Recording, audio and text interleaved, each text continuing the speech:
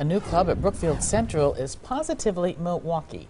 The Red Kettle Club met for the first time today. Students will be ringing bells for the Salvation Army. More than 90 students have already signed up. Brookfield Central is a school where students are really willing and interested in serving the less fortunate of their community.